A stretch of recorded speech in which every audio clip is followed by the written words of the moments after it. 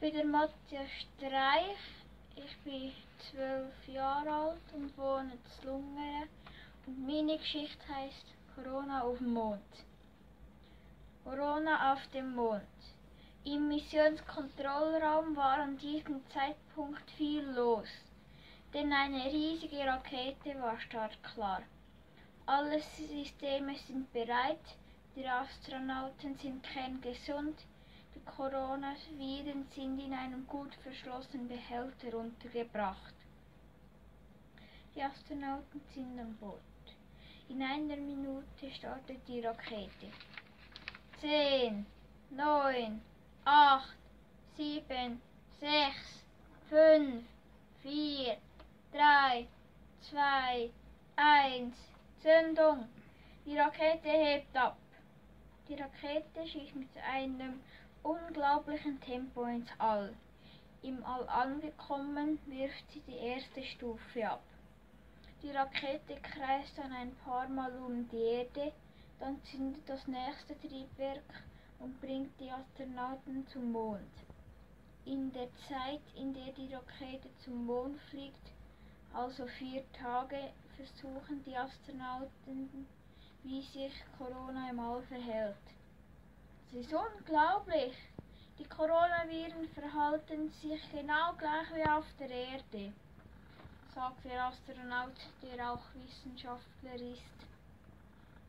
Der Kommandant der Mission rief plötzlich Achtung, der Behälter mit den Coronaviren fliegt davon. Der Wissenschaftler versucht den Behälter einzufangen, doch er gibt dem Behälter versehentlich einen Schubs. Der Behälter fliegt durch das ganze Raumschiff und schießt den Piloten an den Kopf. Autsch, was war das? Der Wissenschaftler sagt aufgeregt, der Deckel, der den Behälter zudeckt, ist weggeflogen. Dann sagt der Pilot verunsichert, das heißt, die Coronaviren fliegen hier frei herum.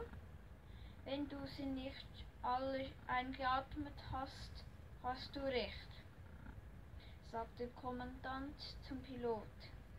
Trotzdem flogen die Astronauten zum Mond.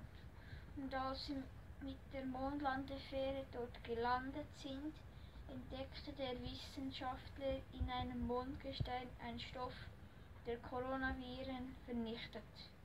Aber ob der Stoff für den menschlichen Körper gefährlich ist, weiß er nicht, weil er es nicht genau untersuchen konnte. Auf dem Heimweg zurück zur Erde erkrankte der Pilot an Corona, aber zum Glück nicht so schlimm. Als die Kapsel mit den Astronauten in die Erdatmosphäre eingedrungen ist, ist es im Mission-Kontrollraum nicht gerade ruhig denn die Kapsel ist gerade in der Blackout-Zone. In dieser Zone hat man keinen Kontakt zur Kapsel.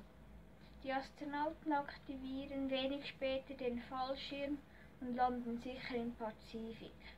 Dort holt sie ein Schiff ab.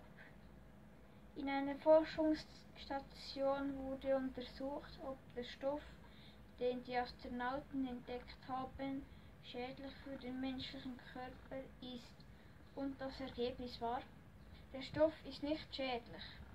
Ein Jahr danach gab es keine Menschen mehr, die an Corona leiden mussten.